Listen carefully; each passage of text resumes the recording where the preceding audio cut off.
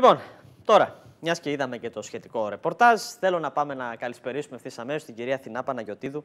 Είναι πρόεδρος ε, των εργαζομένων ΟΤΑ του Δήμου Καβάλας. Ωστόσο, όμως, έγραψε ένα πάρα πολύ ωραίο άρθρο γύρω από το θέμα των γυναικοκτονιών και γι' αυτόν τον λόγο άλλωστε ε, θέλησε έτσι να κάνουμε μια συζήτηση. Καλησπέρα, κυρία Παναγιοτήδου. Καλησπέρα, κύριε Αντωνιδάκη, σε εσάς και στους τηλεθεατές Λοιπόν, ε, πραγματικά, δυστυχώς, το τελευταίο χρονικό διάστημα, θα έλεγα από την εποχή του COVID και μετά, αλλά και πιο πριν, δυστυχώς, είχαμε δυσάρεστες ε, τέτοιες ε, ειδήσεις να μεταφέρουμε, τραγικές, ε, με τις δολοφονίες γυναικών, κοριτσιών, ε, από τους συντρόφους, από τους συζύγους ή και το οτιδήποτε δυστυχώς ε, είχαμε δει. Ε, πέρα και πριν τον COVID να πούμε, η υπόθεση Ελένης στο Παλούδι άλλωστε δεν μπορεί να ξεχαστεί, ε, όπως και να το κάνουμε. Ε, βλέπουμε δυστυχώς όμως κυρία Παναγιωτήδου η ιστορία όχι μόνο ε, να λαμβάνει τέλος, να σταματάει, να μαθαίνουμε από τα λάθη μας, αλλά μέρα με τη μέρα που περνάει να επαναλαμβάνονται όλα αυτά τα λάθη. Και αυτό νομίζω ότι είναι ένα πολύ σοβαρό ζήτημα και ακόμη η κοινωνία κοιμάται πάνω στο συγκεκριμένο ζήτημα για κάποιον λόγο που εγώ δεν γνωρίζω προσωπικά. Θέλω και τη δική σας τοποθέτηση, γιατί πραγματικά το άρθρο σας ήταν πάρα πολύ, ε, στη, πραγματικά to the point, όπως θα τα λέγαμε και στα αγγλικά, και πάρα πολύ ε, σημαντικό. Ε, πραγματικά, κύριε και βλέπουμε διαρκώς ε, η ιστορία να επαναλαμβάνεται. Και εμένα ως πολίτη, αλλά και ως μητέρα δύο κοριτσιών, ε, με φοβίζει όλο αυτό το γεγονός τελευταία.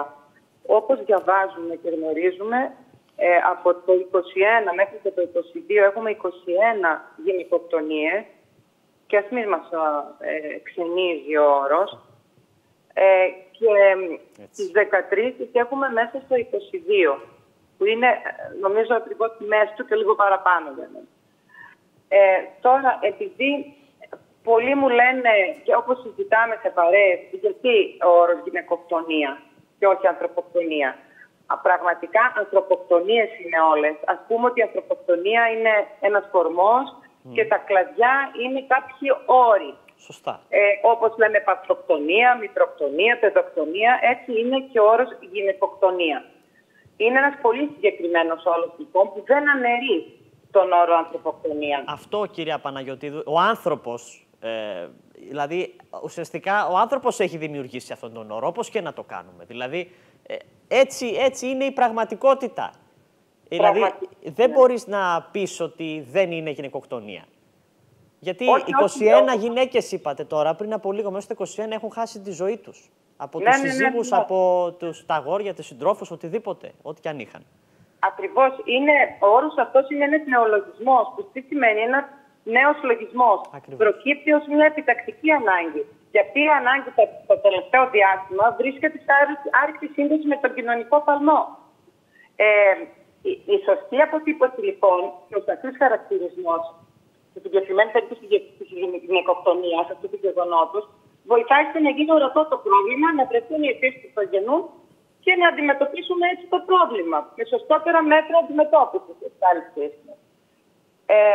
με βάση λοιπόν όλο αυτό που συμβαίνει τα τελευταία δύο χρόνια περισσότερο δεν ξέρω αν ε, συμβάλλει και ο COVID αυτό ή ο εγκλισμό μα στο σπίτι, οι κλειστές κοινωνίες, τι οποίες ζούμε ακόμη, ε, με βάση λοιπόν όλο αυτό έγραψα αυτό το άρθρο. Έτσι, σωστά. ναι, ναι.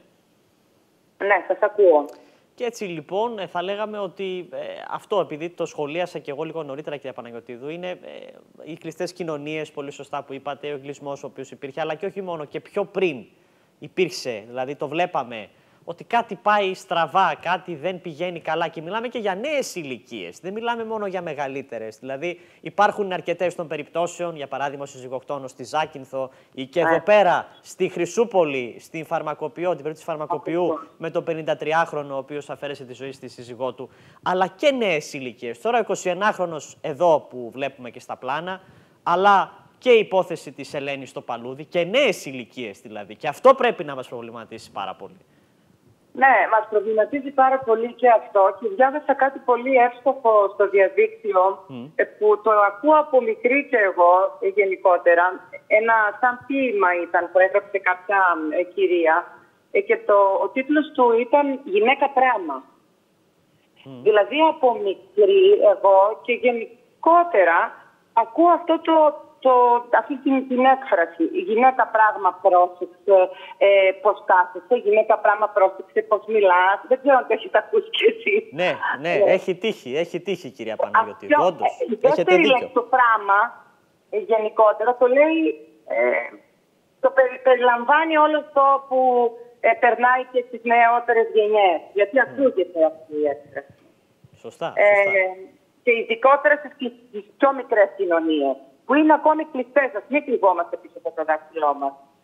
Ε, θα πρέπει ε, να, πάρουν, να πάρει μέρος όλο, όλο αυτό και η κοινωνία σε όλο αυτό το φαινόμενο για να το αντιμετωπίσουμε. Να μην φοβόμαστε δηλαδή να καταγγέλουμε, ε, να μην φοβόμαστε να μιλάμε. Μία λέξη μα, μία κουβέντα μας μπορεί να σώσει μια ανθρώπινη ζωή. Έτσι, πολύ σωστά. Οι γυναίκες από τη φύση τους ε, είναι και πιο αδύναμα πλάσματα, ε, σωματικά εννοώ. Οπότε δέχονται και αυτή τη βία και τη σωματική και τη λεκτική.